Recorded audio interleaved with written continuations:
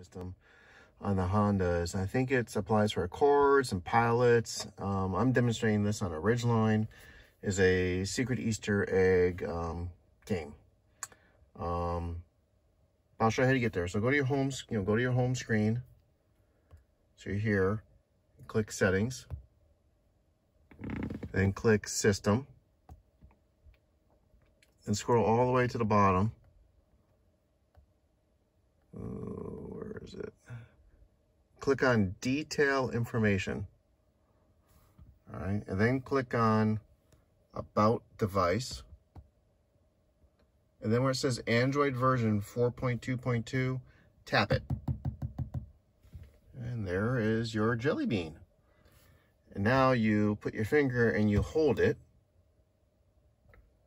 And now you've got jelly beans. And the object of this, so once you put your finger on a jelly bean, you can control it. You can grab two jelly beans and control it. The object is to swipe them off the screen. Um, I've done this several times. Uh, some of them are kind of black and they're hard to see.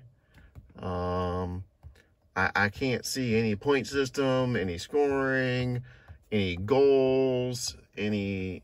Uh, they just keep coming back and there doesn't appear to be the end. It's hard to get the ones on the edges. Um, but uh, I guess it could keep some kids amused for a while. But that's about it. And then uh, if you just let it go, they'll eventually kind of all come back. And that is a secret Easter egg jelly bean game uh, in the Honda operating system.